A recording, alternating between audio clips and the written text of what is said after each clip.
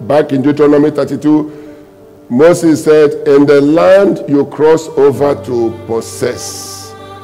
Jesus delivered us from the power. Let me put it like this from the power in the kingdom of darkness. He delivered us. Amen. He translated us. He didn't leave us there. He, he brought us, brought us in this new kingdom. The major thing that works, the only thing that works, that helps you, is to love one another. This is exactly what Moses said to them. He said, The land you crossed over to possess, there is a law that works there. People say to you, anointing for this, anointing for that, anointing for that. I believe in the anointing. I anoint people also. Praise the Lord. But you see, if the word is not in you, the anointing is just an oil. Are you hearing me? The anointing oil only works with the inherent word of God in you. The communion works with the word of God in you. Without the word, it's just a drink. Are you hearing me? Now, if you want to frame a word of prosperity, you need a word. If you want to frame the world of divine health, you need a word. If you want to frame the life of joy and peace, it's in the word. Are you hearing me? People go to drink to forget their problem, but they never forget. It actually complicates their problem. People go to watch football to forget their trouble. Football is only 90 minutes, right? Troubles will come over. They will come back again. People will stay home late so that their children and their wife will sleep before they come home so that to avoid trouble. And they will roam about the city till 12 midnight and they decide to come home believing that their wife and children should be asleep so that they can just quietly sleep.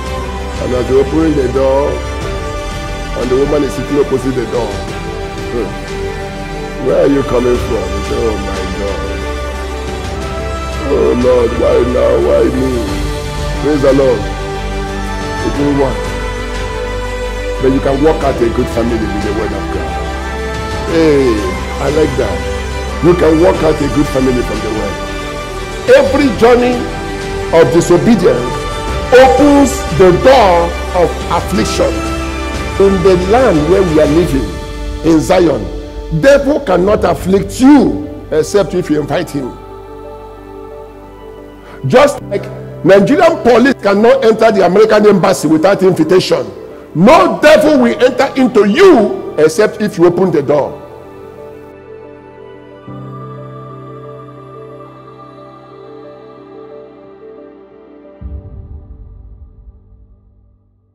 To overpower us again.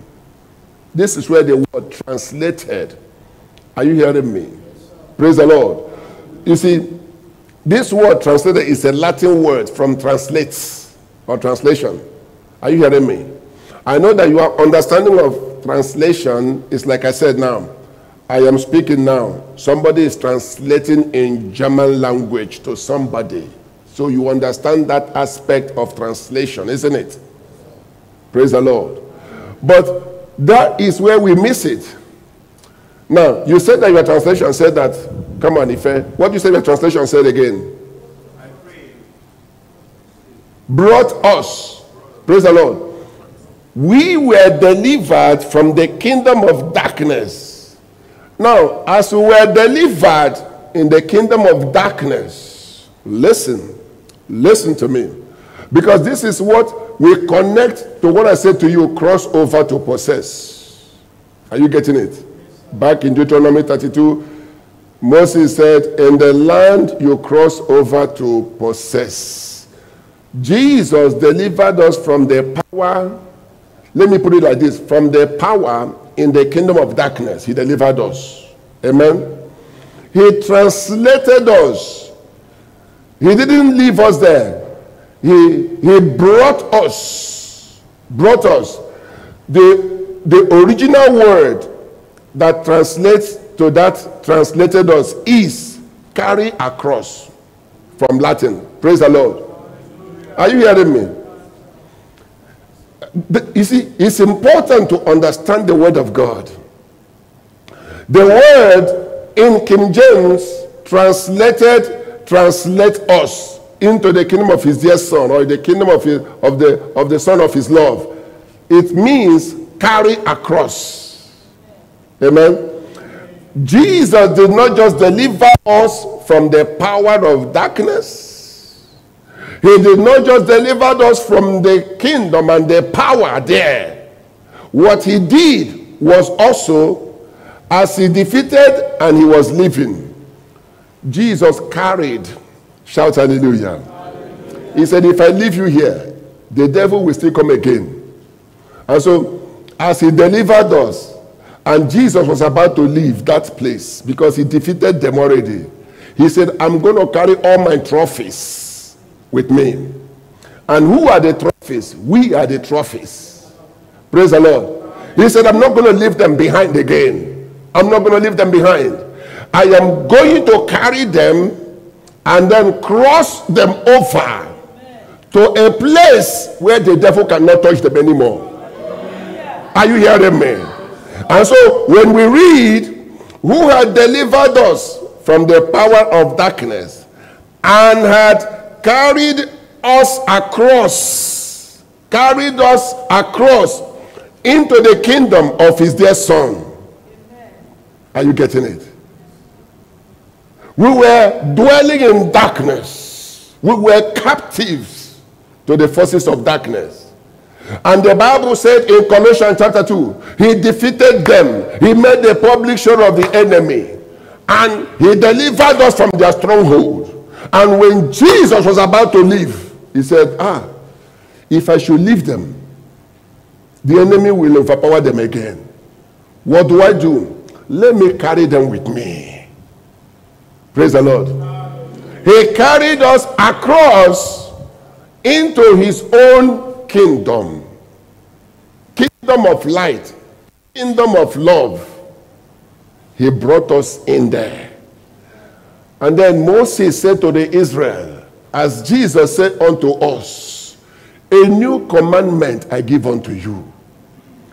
In this kingdom, what works in this kingdom is love. Praise the Lord. He says, it doesn't matter what your life used to be. He said, But in this kingdom, what works? He said, Love one another as I have loved you. Walk in my love. Walk in my light. Amen. Praise the Lord. And so he says, In this new kingdom, the major thing that works, the only thing that works, that helps you, is to love one another. This is exactly what Moses said to them. He said, The land you cross over to possess, there is a law that works there. He said, Take the word of God, you can prolong your days. Take the word of God, you can live longer. He says, By faith we understand that the worlds were framed. Hebrews 11, verse 3. By faith we understand that the worlds were framed by the word of God. Now, if you want to frame a word of prosperity, you need a word. If you want to frame the world of divine health, you need a word. If you want to frame the life of joy and peace, it's in the word. Are you hearing me? People go to drink to forget their problem, but they never forget. It actually complicates their problem. People go to watch football to forget their trouble. Football is only 90 minutes, right? troubles will come over. They will come back again. People will stay home late so that their children and their wife will sleep before they come home so that to avoid trouble. And they will roam about the city till 12 midnight and they decide to come home believing that their wife and children should be asleep so that they can just quietly sleep. And as they're opening the door and the woman is sitting opposite the door, where are you coming from? We say, Oh my God. Oh Lord, why now? Why me? Praise the Lord. It won't work. But you can work out a good family with the word of God. Hey, I like that. You can work out a good family from the word. Did you hear what I just said? You can produce a good marriage with the word. You can manufacture, you can create a good marriage with the word of God. I wish we get this. I wish I can just, like the Bible said, carry us across. I wish I can carry the word of God and just unzip your head I said, now go and leave it. Praise the Lord. You see, people say to you, anointing for this, anointing for that, anointing for that. I believe in the anointing. I anoint people also. Praise the Lord. But you see, if the word is not in you, the anointing is just an oil. Are you hearing me? The anointing oil only works with the inherent word of God in you. The communion works with the word of God in you. Without the word, it's just a drink. Are you hearing me? Didn't you hear? Where there's the word of the king? Where there's the word of the king? If you will understand Colossians chapter 1 from verse 12 to 13, if you will understand it, your life will be different. Are you hearing me? How can the devil be pursuing you when you are no longer in his kingdom? Does it make sense? Um, let, let, let's put it like this. Let's say um, Mama Cecilia, right? Your house is just up the road, right? And then, and then you tell people that pastor is pursuing you in your house. And they say, but pastor is here. He said, no, but pastor is pursuing me. But they say, pastor is in church. He said, you don't know what I'm talking about. It is difficult to believe. Why? Because I'm not there. Amen. And I cannot be there without your consent. Even if I come there, does not mean I can enter there. True or false? Yes, that's true. I can actually walk to her house, I know the place, and I can knock. And then she can say yes. Saying yes does not mean I have access. Are you hearing me? But saying yes gives me a signal that I may be let in. Are you hearing me? But that does not equal to coming. Now, the Bible said Jesus has carried us across. He has taken us from the kingdom of darkness to his own kingdom. Let me pray like that. He relocated us. Are you hearing me? If you move from one house to another one, will your former landlord come and ask rent? Think about it. It will be foolishness, isn't it? He was once your landlord, and now you have moved. And now you have moved, isn't it? No matter how much you like him, will you pay him rent? Doesn't make sense. And the Bible said, we used to reside, we used to live in the kingdom of darkness. Read it in the Bible. But Jesus has delivered us. Not only did he deliver us, he translated us. Praise the Lord. Another word there is deportation. And many of you, you don't know what deportation is. Let me explain deportation to you. If they say that um, you are going to leave Nigeria, let's say Nigerian government is deporting somebody from Nigeria or from Germany, German government wants to deport you. You travel in style, though it's deportation. Are you hearing me? They will give you an escort. Though it's deportation. Do you understand the power of the word translate? He says that you, the, the, you are no longer allowed to stay here. They say you must live here. Praise the Lord. And then while you are living, they give you special escort. They put you in a police car. Wee, wee, wee, wee, wee, wee, wee, wee. Praise the Lord. You may be deported, but you are on escort, VIP. Praise the Lord. It may be the only last day you spend in that country, but you are living in style. Are you hearing me?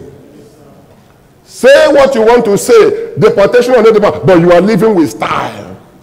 And so when you come back and tell the story, you know police car came to carry me. They brought me right to the aircraft. And usually, before anybody will enter, they will allow the deportee. Seriously. Are you hearing me? They will allow the deportee to enter first.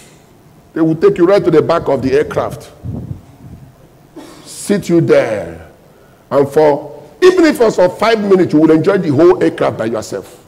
Nobody else is in that aircraft. Are you hearing me? You are what? In deportation.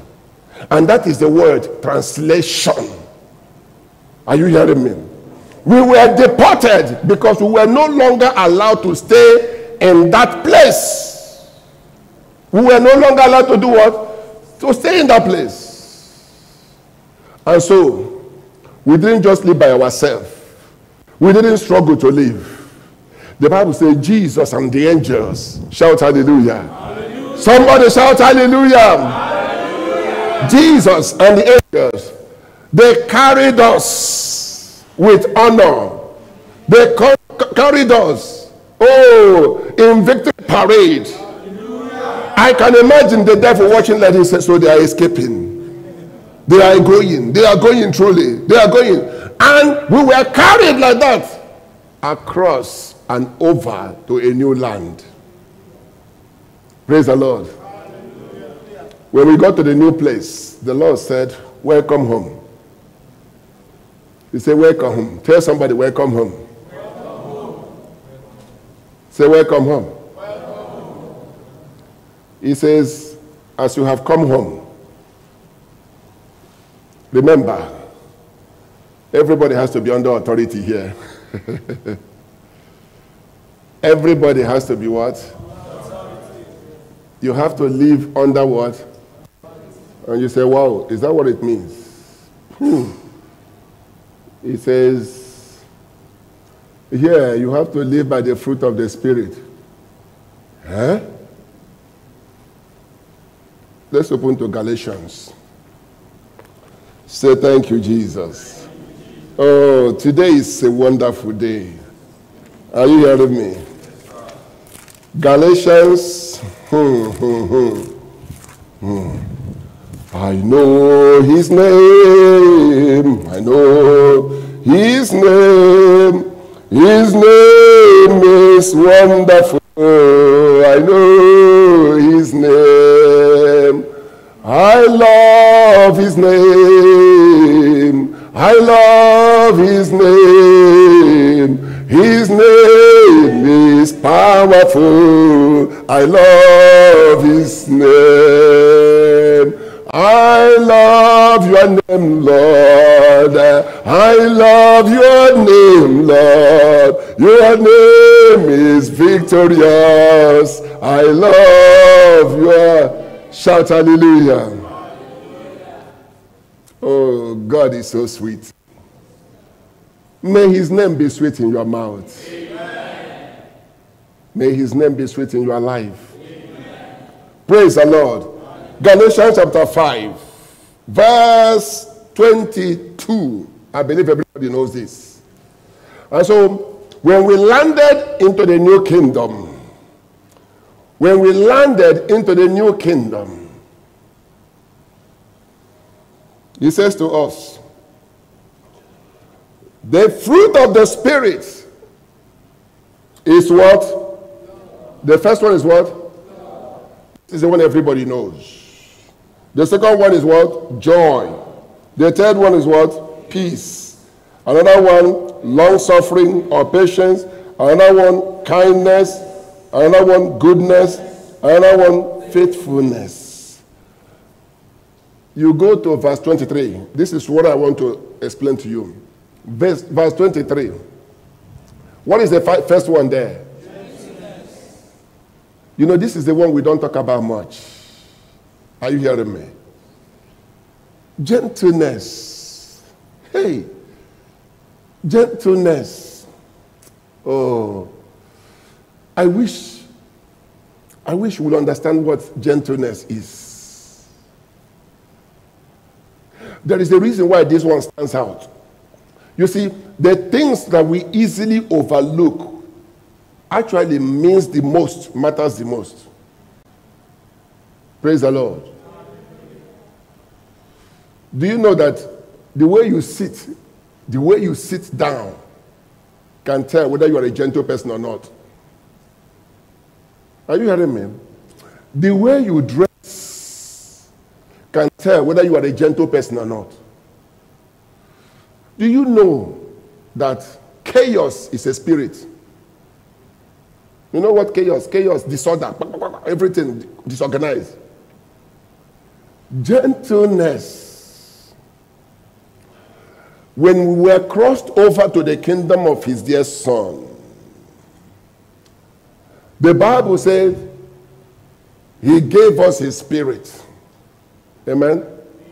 And so his spirit manifests through us all the fruit of the Spirit, we are meant to live it.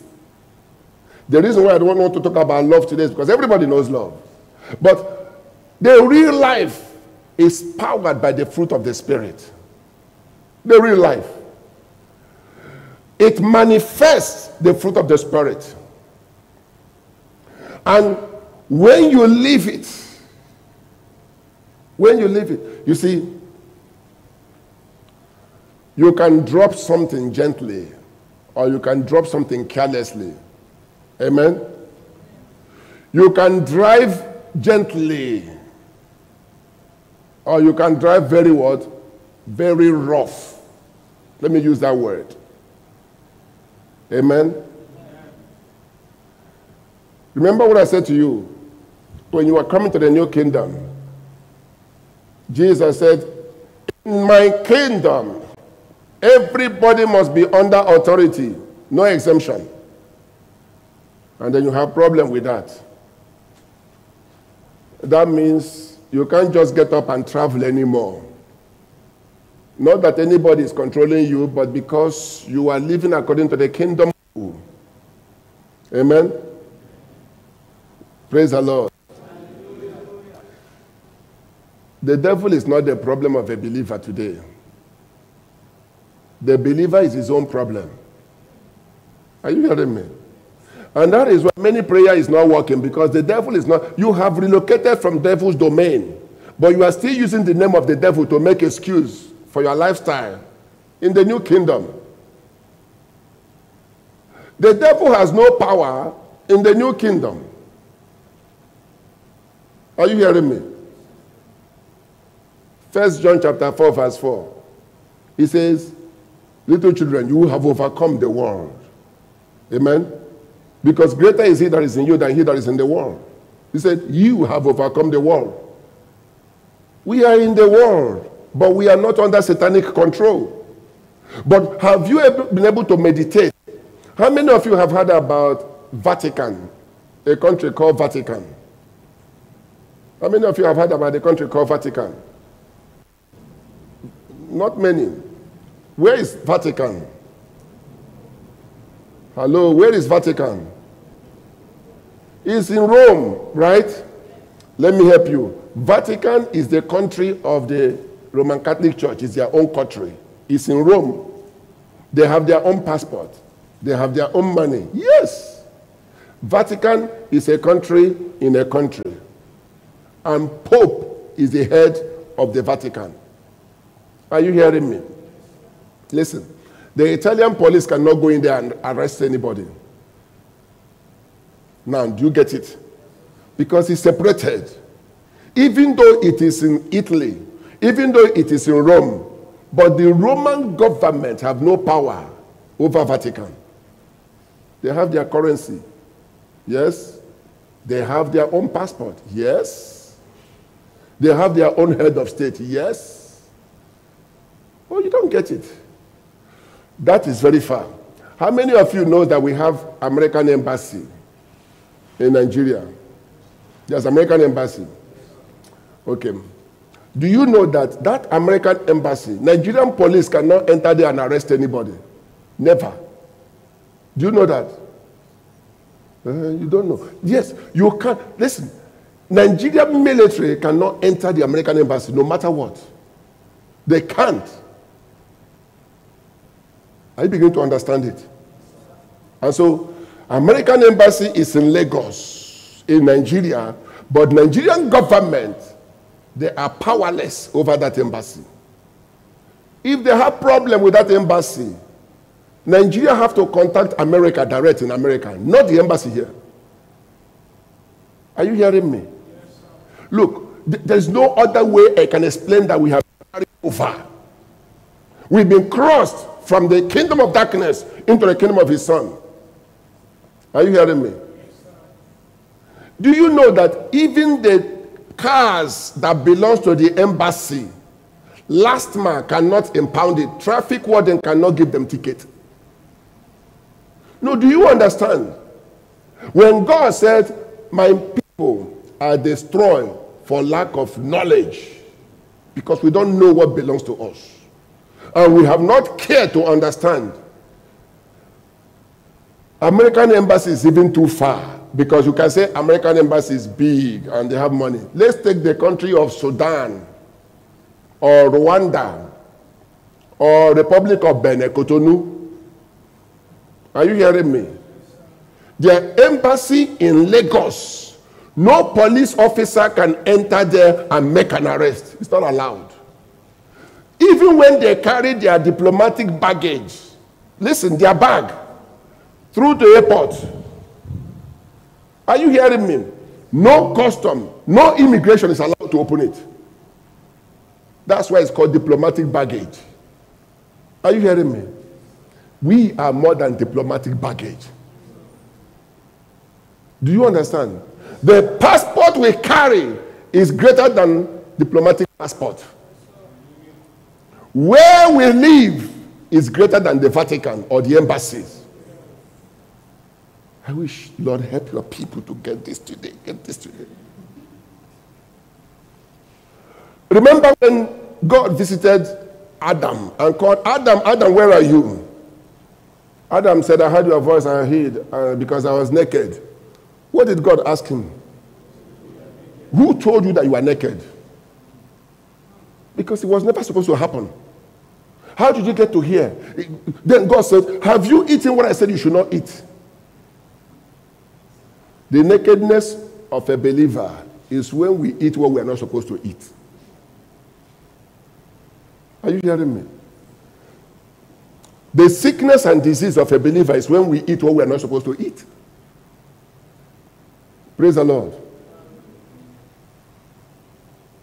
This is going to surprise you. When,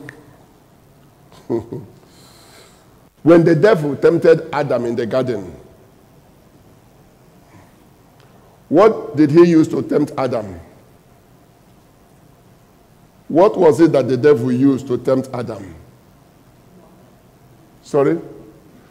Listen now. Please, let's think. Let's think. When the devil tempted Adam in the garden, right? That was God's garden, isn't it?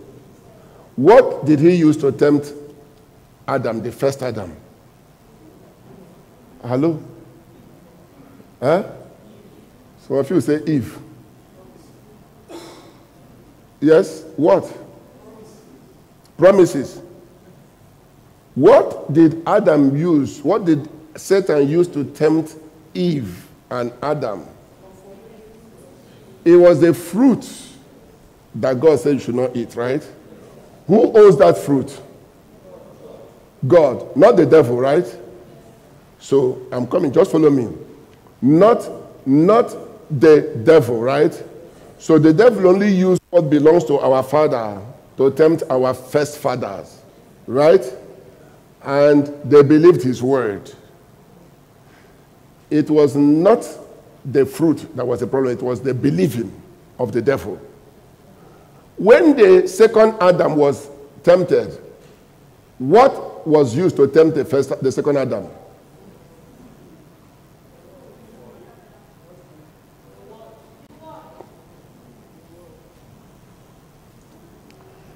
Food, right? And then the word and the things in it. Listen now. In the beginning, Satan had no food. Are you hearing me? Nothing to tempt man except the tree of right of the knowledge of good and evil. God said we should not eat. It belongs to our papa. Right? And so he used our father's property to tempt our first fathers. And they fall for it, right? They ate, right? And now the second Adam comes.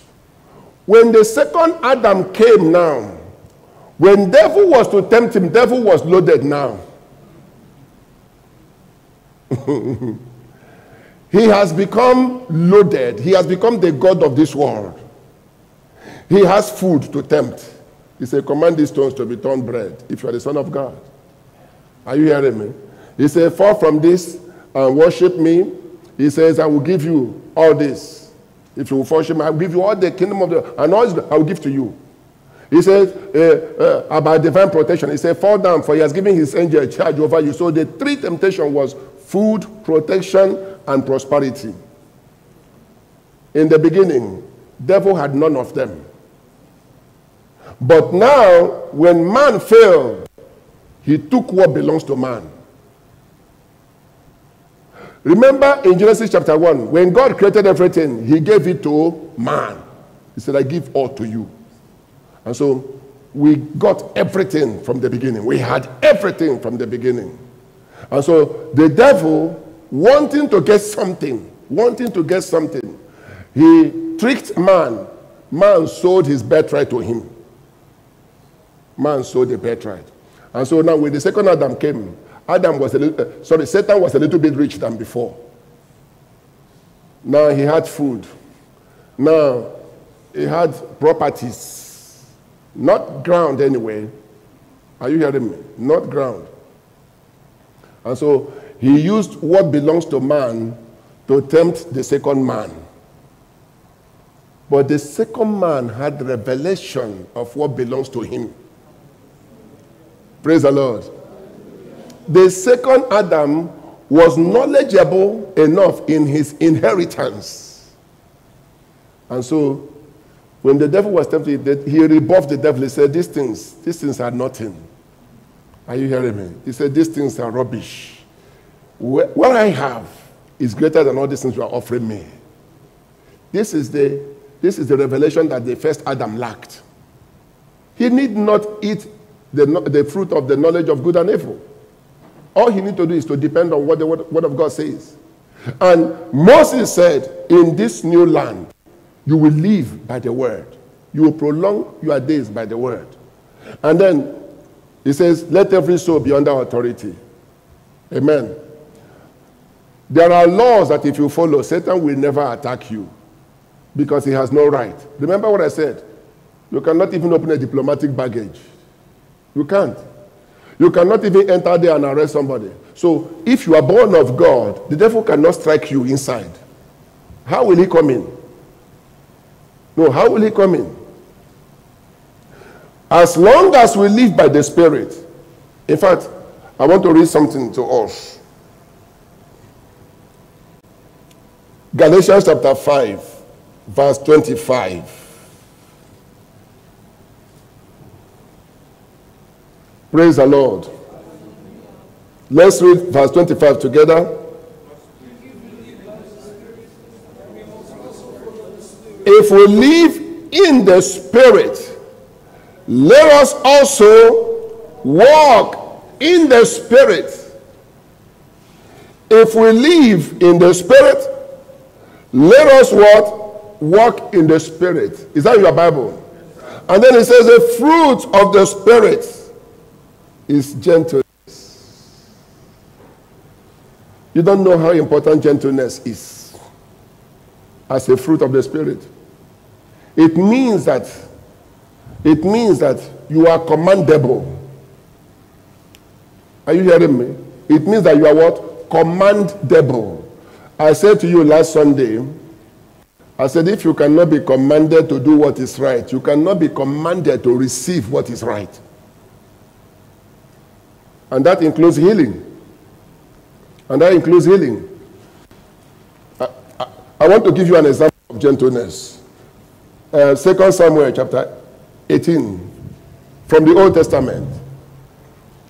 2 Samuel chapter 18. Shout hallelujah. We are doing well with the time. Make sure that you attend the Easter program. Insight into redemption. Oh, please, whatever happens, make sure you attend this program. It will bless you. We are going to talk about, you know, these things I'm just mentioning here. We're going to talk about it in detail. Friday, Saturday, Sunday. We have the flyer here by the grace of God. Attend this program. It will transform you. It will bestow upon you grace you will be a different person. Praise the Lord. So we have that program Friday, Saturday, Sunday. Friday, Saturday, Sunday. You, you see, until you understand redemption, you cannot leave it. Amen. Until you understand what you were redeemed from and what was belonging to you originally, how can you demand it? Praise the Lord. When you know you are right, when the police stop you, you talk back, you fight back, isn't it? He said, resist the devil. When you know what belongs to you, you can resist the devil in any capacity, isn't it? And you need to attend that program. It will bless your life, it will transform your life. He said, My people are distressed for lack of knowledge. Understand redemption and meditation. I assure you, just within six months, your life will take a ride up to the highest. Praise the Lord. Attend that program. Don't miss it for any excuse. It's not one of the programs I said to you, come and then um, you have breakthrough. No, no, no. The breakthrough is already there. Come understand how to take it. Amen. Praise the Lord. All right. Where did I say you should open? Second, then you are with me. Amen. This is about David and his son Absalom. We all know that Absalom was the son of David that wanted to dethrone the father. He wanted to kill the father. Praise the Lord. Actually, he unseated the father from the throne. He dethroned the father. And the father was a fugitive on the run. A king. A king was on the run.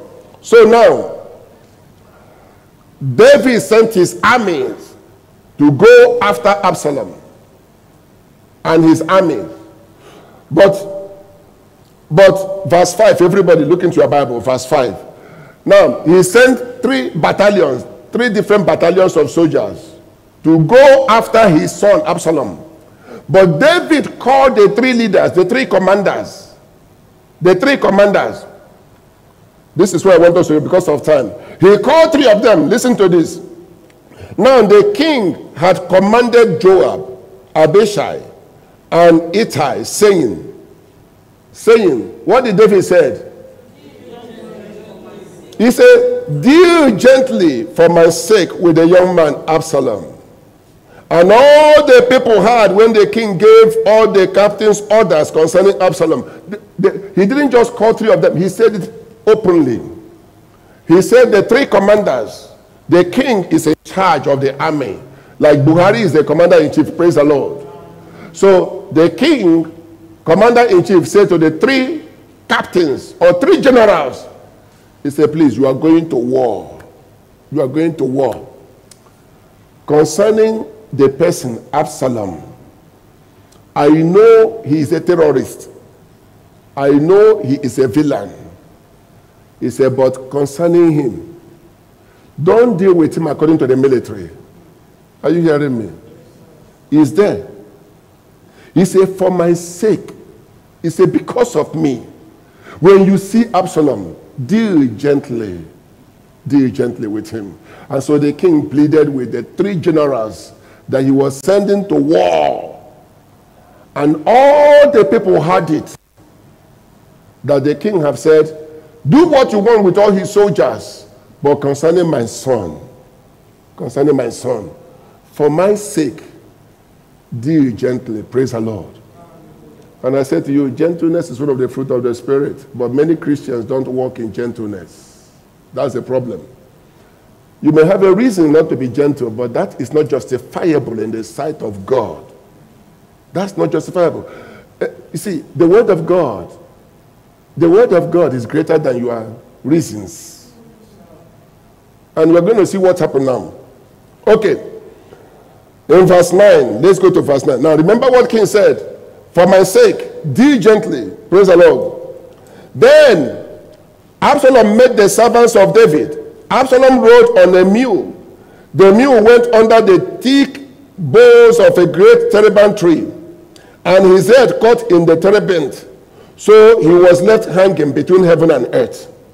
And the mule which was under him went on. Praise the Lord. Now a certain man saw it and told Joab and said, I just saw Absalom hanging in a terebinth tree.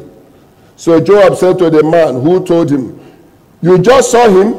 And why didn't you why did you not strike him there to the ground? The man said, I would have, sorry, Joab said, I would have given you 10,000 shekels of silver and a belt if you had killed Absalom. You saw Absalom hanging on a tree. He had long hair. Absalom had long hair. So he was on, the, on his mule. And so as he was riding the mule, something like a horse, and the tree his hair coiled on the tree. That's to explain what the scripture is saying. And the horse moved. And so he was hanging between heaven and earth. He was, was hanging. And then one of the soldiers saw it. He said, This is Absalom. He went and told one of the general called Joab. He said, I saw Absalom. He's hanging on a tree. He said, You saw him? Did you kill him? He said, No, I didn't kill him. Because, because I heard what the king said. Joab said, If you had killed him, I would have rewarded you, I would have honored you. Verse 12. But the man said to Joab, But the man said to Joab, Though I were to receive a thousand shekels of silver in my hand, I will not raise my hand against the king's son. For in our hearing, the king commanded you and Abishai and Ittai, saying, Beware lest any of you touch the young man Absalom. The man said, No, even if you give me a thousand shekels, I will not do it. I will not do it. Why would I disobey the king? The king said we should deal gently with Absalom. And now you are telling me if, you are, if I kill Absalom, that you will reward me. The man said, I will not do it. I, I have the word of the king. And Jesus is the king of kings. We have the word of the king inherent in us. Are you hearing me? The word of the Lord is in us. The Bible says, verse 13. Otherwise, I would have died falsely against my own life, for there is nothing hidden from the king, and you yourself would have set yourself against me. Praise the Lord. The man disobeyed. The man refused to disobey. He, he, he chose to obey the word of the king. But the king didn't talk to him directly. The king spoke to the generals, and he was just a soldier. Praise the Lord. All right, let's continue. Verse. Let's go to verse 29. No, that would be too far.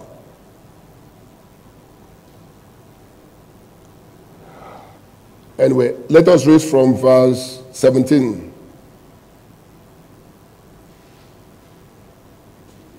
Are we there? And you will not understand if I read from it. Let's go back to 14. Then Joab said, I cannot linger with you. And he took three spears in his hand and thrust them through Absalom's heart. While he was still alive in the midst of the terebinth tree, he used three daggers in one translation. He put it through the heart of Absalom.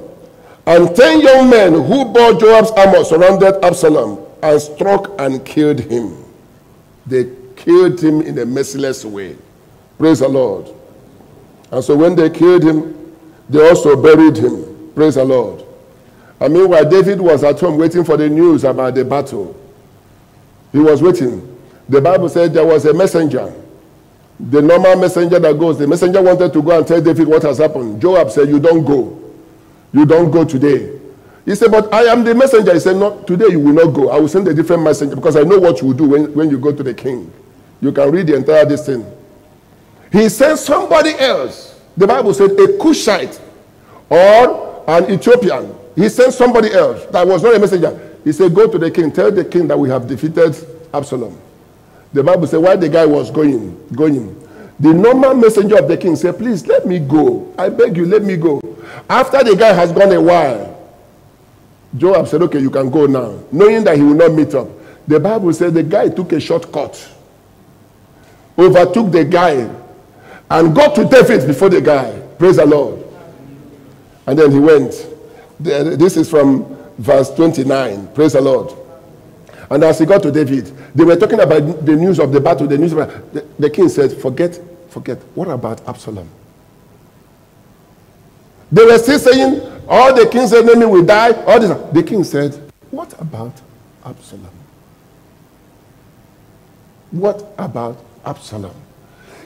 We are very much like that. We say to the Lord, We did this, we did that, we did that, we did that, we did that. And God said, What about my spirit? Was it done by my way or your way? What have you done? Let's read. Let's read verse 29.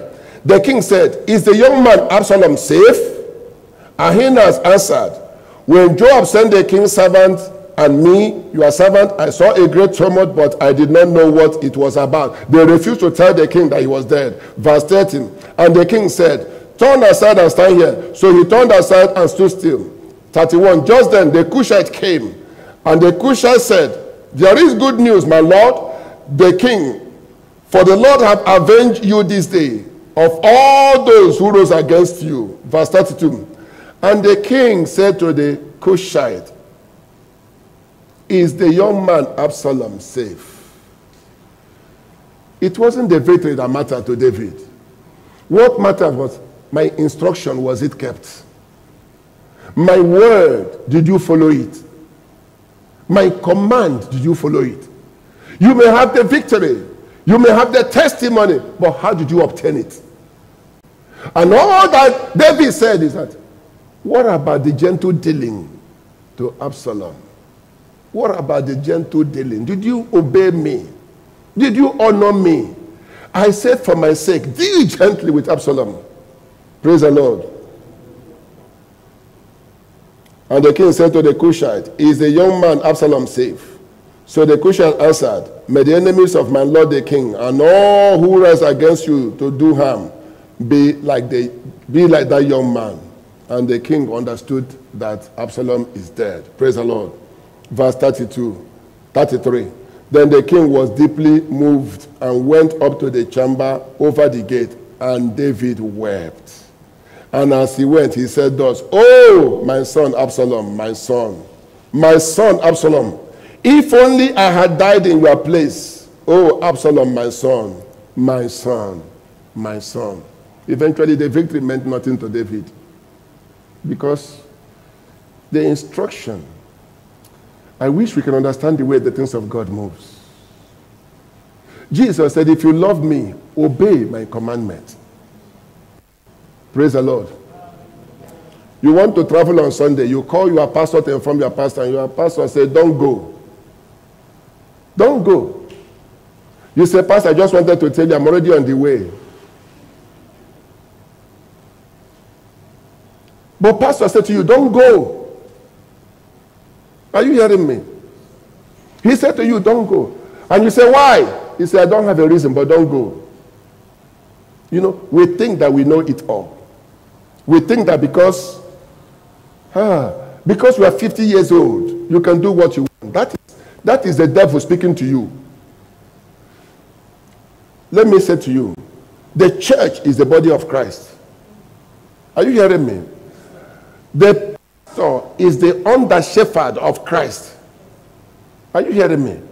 When you disobey your pastor, you are disobeying Christ directly. Are you hearing me? You need to understand the way the things of the Spirit works. You want to travel, Pastor said, Don't go. You chose to go. You have disobeyed the highest spiritual authority in your life, and you open the door for the devil. Straight. Every journey of disobedience opens an entrance of affliction. Every journey of disobedience opens the door of affliction. David said, Before I was afflicted, I went astray. Amen. In the land where we are living, in Zion, devil cannot afflict you except if you invite him. Just like Nigerian police cannot enter the American embassy without invitation. No devil will enter into you except if you open the door. And many times we open the door. Do you understand? You pass through the door, you bang the door. Blah.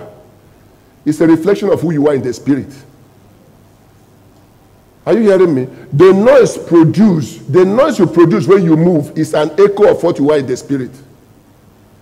I talk to people, don't bang the door. They don't understand why I say it. You can make an excuse why you bang the door. You are banging the door is a reflection of your spirit. You are lawless inside. You are indisciplined. You are uncontrollable. That is why you cannot just close the door gently. Does it make sense for you to bang the door? It doesn't. Gentleness is one of the fruit of the Spirit. No, it's one of the fruit of the Spirit. The way you bang the door is the way you will drive on the road automatically. Are you hearing me? Everyone is quiet now because the message is coming home now. It's registering. Ajawa is hearing me. Praise the Lord. He drives differently when he carries me because he knows he won't dare it. But when I'm not in the car, he's loose. He will drive. Praise the Lord. Even before you open your mouth and say, I'm a Christian, your actions can tell us whether you are born again or not. Do you get it? If the door slipped through your hand as an accident, that is understandable. You say, oh, it was a mistake then even you will be sorry that it happened. When you now try to explain it, explain it. Something is wrong with you. Remember, your environment is a reflection of your spirit. No, do you get what I'm saying? You, are, you live from your spirit. What happens around you is who you are on the inside. Forget the explanations. Bring that chair for me, please.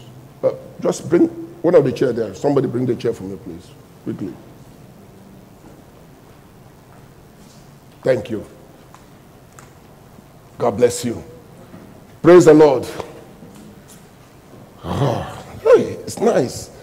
Maybe I should sit like this while you post postando. Praise the Lord. Can you see, see me? You come to, you go to a, a friend's place, a friend. You go to a friend's place, a friend's place. You sat down. Ah, I need water. You are already lawless. You are already lawless. Are you hearing me? No gentle person sits like this. No, no gentle person sits like this. Yeah, get up and see me where. No gentle person. You come to church, you do like this. In church. In church. Are you hearing me? You are seated like this. You are not only lawless, you are rebellious. You know why? In your office before your boss, you can't sit like that. Can you? No, can you? You dare not. You dare not. But here, before the Most High God, before the highest of the highest, the omnipotent and omnipresent, you sat and you crossed your leg. Ah. And God looks at you and said, We will see how you will end. You cross your leg. No, you cross your leg in the house of God. Somebody even said to you, Sit where? You say, Leave me. What is it? Ah, ah, I'm sorry for you. Many things that are dealing with the Christian is not the devil. Are you hearing me? It's not the devil. There is certain fear, certain fear, certain fear that should hold you when you enter certain places. I'm telling you the truth. The Bible says, Give honor to whom honor is due, and fear to whom fear is due. There are powers we should fear. Are you hearing me? There are power because they carry a lot of authority. I remember our, our lawyer, when people were trying to fight us on this land, some people were trying to fight us. When we bought it, they were trying to fight us. And now our lawyer has now become a judge. He was then the judge of an appeal court. And so he was the one that wrote the agreement we used to buy some of this land. He wrote it. So when I called him, I said, You are, you are you need to visit. So he came. I said to him, I said, Your honor, you know this land, you, you wrote, you signed the agreement. I said, They are fighting us over it. He said, Who? I said, So, so, so, family. He said, Let them try it, I will jail them. Praise the Lord. That was what he said. He said, Let them try it. I will do what? Jail them. As a judge, he has the power to send people to jail. Do you get it? He was talking truth. And all you need to do is to carry him to, to carry them to, your, to his court. And he'll say, okay, um, I'm not going to decide this case here. Send them to jail. Keep them there till next time. He doesn't need to give you a reason. True or false? Police station alone can put you behind the bar. Isn't it? You go on Friday, when they want to get money from you, they are broke. You said, Oga, it means like say you go stay for us this weekend, though. He said, Ah, Friday, you can't come out on Saturday. You can't come out on Sunday. Money will start speaking. He said, Officer, officer, it has not come to that now. Officer, please. He said that. He said the DPO is not around. The person that will give you bail is not around, except if you are willing to give us money to call him. He may come. How much to call? 5,000. Uh, isn't it 500? Okay, go and make the call by yourself. It's okay, okay, 5,000 I will pay. Praise the Lord. Listen, listen. What troubles many Christians is not the devil, it's their ignorance. And that is why prayer has not been able to solve it. Are you hearing me? My people are destroyed for lack of knowledge.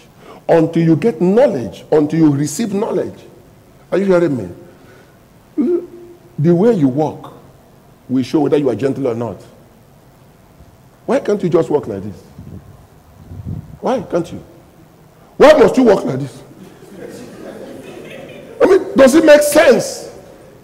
Does it make sense? You alone by yourself. Nobody is with you. Nobody's going. I want them to know that I am a big man. What kind of big man walk like that? This is when lawlessness has taken a root in you. And it's not possible for you to control yourself anymore. Because after gentleness is self control, you have lost both because of your former residence in the kingdom of darkness. Because, and now the spirit is trying to get it back into you. And you are fighting it, fighting it. Are you hearing me? The only reason why you are having problems is because you don't understand the laws that governs the new country where you have moved in. You don't get it. And when you disobey, you think that it is normal. You say, what can they do? Let them do what they want. They will not do anything, but the devil will do it. Are you hearing me? Shout hallelujah. hallelujah. Oh, pastor will not do anything. We cannot discipline you. But the devil is already dealing with you. God said, I will honor those that honor me. The Bible said the king cried and wept and wept and wept. And Joab was not moved because Joab justifies his action in military, like the way you justify your action in life. Let's, let's, let's see, verse chapter 19. And Joab was told, Behold, the king is weeping and mourning for Absalom. So the victory that day was turned into mourning for all the people. For the people had it, for the people had it said that day, the king is grieved for his son. Praise the Lord. And you know, Joab was not touched. And the people stole back into the city that day as people who are ashamed, still away from the flee of battle. They were now ashamed of what they have done. Verse 4. But the king covered his face, and the king cried out with a loud voice. Cried out, weeping, crying, Oh, my son, Absalom. Oh, Absalom, my son. Oh, Absalom, my son. Look at the action of lawless people. Verse 5. Then Joab came into the house to the king and said, Today you have disgraced all your servants. Hey. No conscience. Are you hearing me?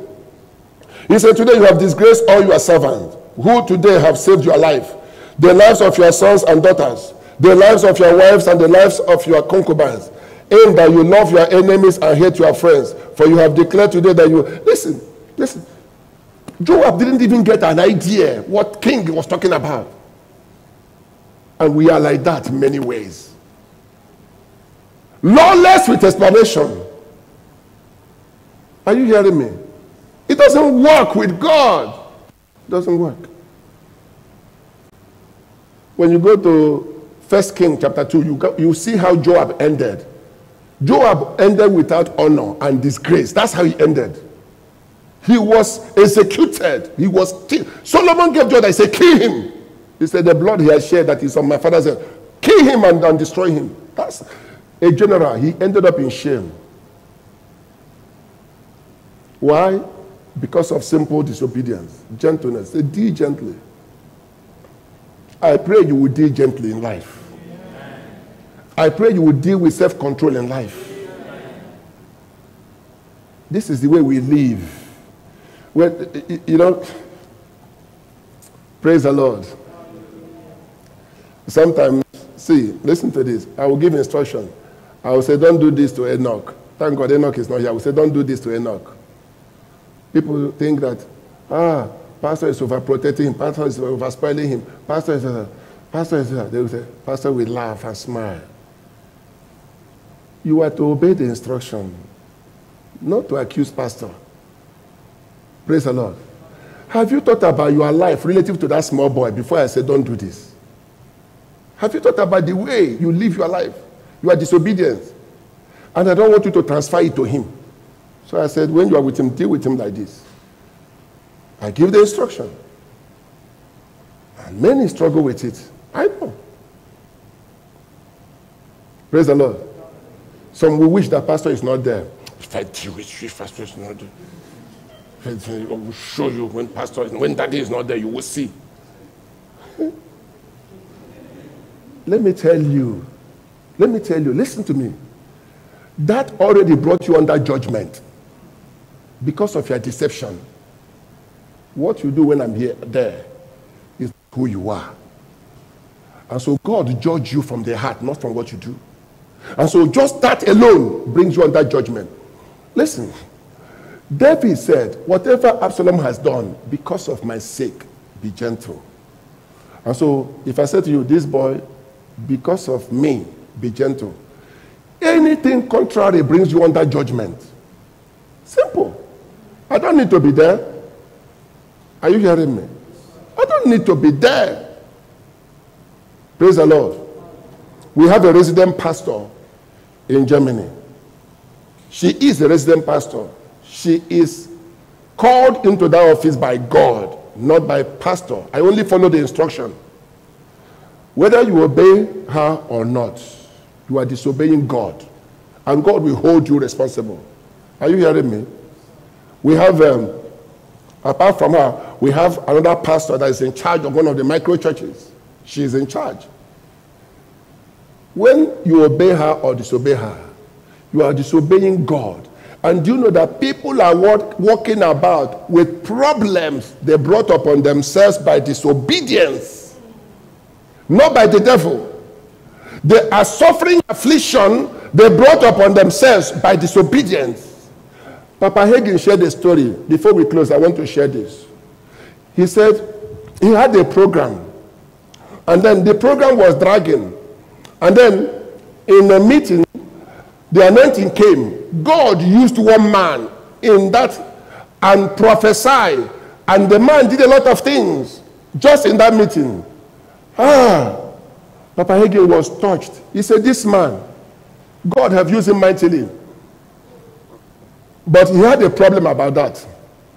So in the night, he couldn't sleep. After a while, he sat up. He said, Lord, I want to deal with this matter with you. The Lord said, What's the He said, He said to the Lord, Why did you use this brother so well? I saw this brother enter a place he shouldn't enter as a Christian. I saw him enter that place. And I don't think you should use him. He said, But there is a sister in the church. This sister in the church, Papa Hagin said that during lunch, the pastor was discussing this sister with Papa Hagin. And the pastor told Papa Hagin, This sister is so faithful in church.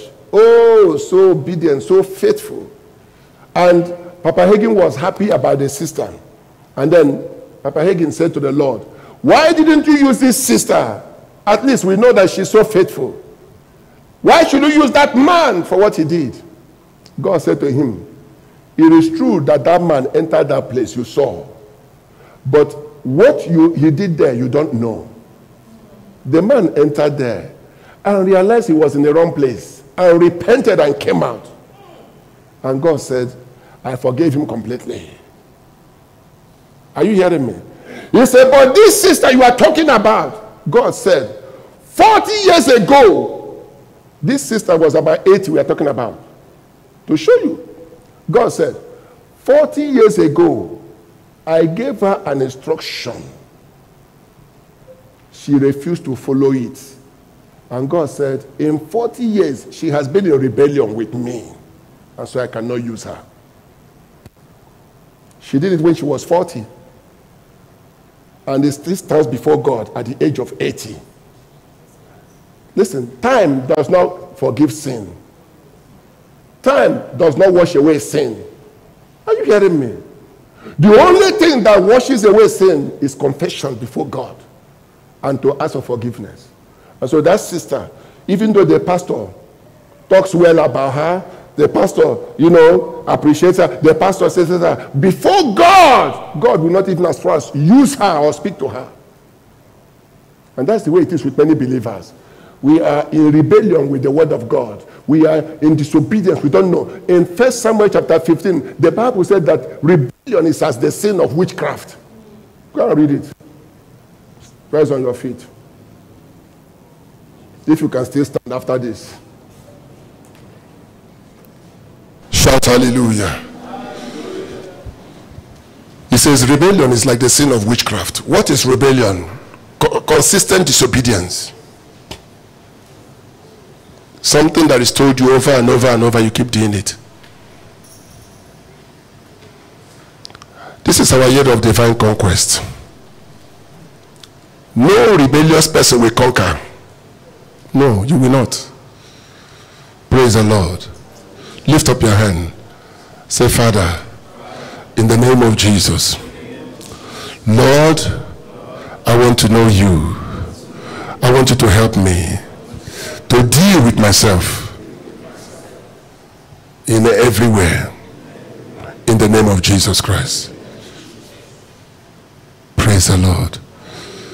Father, I pray for everybody under the sound of my voice that is going through self-made affliction, self-made afflictions, doors opened by the people, by the person. Lord, I'm asking for mercy. Lord, I'm asking for forgiveness. Lord, I'm asking for healing. Lord, I'm asking that the doors be closed today. The doors that has been opened for the enemy, let it be closed. And let the name of the Lord be glorified. Father, we thank you. We give you all the praise. We give you all the glory. Let there be a newness. Let there be a restoration. Let the anointing begins to work in your life again in the name of Jesus Christ. You are blessed in Jesus' precious name. Listen, if you are here and you are not born again, you are in rebellion, you are in disobedience. Until you get born again, the word of God will not work in your life. You can hear a message like this and refuse to give your life to Jesus. He says rebellion is as the sin of witchcraft. Anywhere you are, if you want to give your life to Jesus, I want you to make your way forward. This is the best thing you can do. This is the best thing you can do. If you want to give your life to Jesus, come forward now.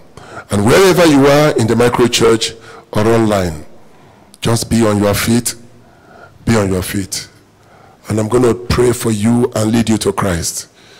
If you are here, you want to, please, the rest of you sit down. If you want to give your life to Jesus, this word you have heard has touched your spirit, and you see a need for you to turn your life over to Christ. Anybody here? Online or in the micro church? Just follow me as I pray this prayer. Repeat it after me. From wherever you are, say, Father, in the name of Jesus, Lord, I have heard your word and I have received your word. Lord, I am a sinner. I have come short of your word. Lord, I'm asking for mercy. Lord, I'm asking for forgiveness. Lord, I'm asking that Jesus will come into my life and be Lord over my life and that you will forgive all my sins. From today, from today, I make a decision from my heart with my mouth. I believe and I confess that Jesus is the Lord and I give him my life from this day. And I make him my Lord and my Savior from this day. Father, I thank you for I am born again. My sins are forgiven. For the Bible said that whosoever shall call upon the name of the Lord shall be saved. Jesus, Jesus, Jesus, save me from this day. Hallelujah. Hallelujah. If you have prayed that prayer with me, you are born again, you are saved, your sins are forgiven. But you have to follow up. You don't get born again and go your way. You get born again. Contact us in the micro church. The leaders will reach out to you online. Please write to us, and then we'll be able to give you instruction and then bless you with some books also for free. Praise the Lord. Praise the Lord. Shout hallelujah. Let's bring out our tithe and our offering to worship the Lord and honor Him. God is good. God is good. Lift up your tithe and your offering. Worship the Lord.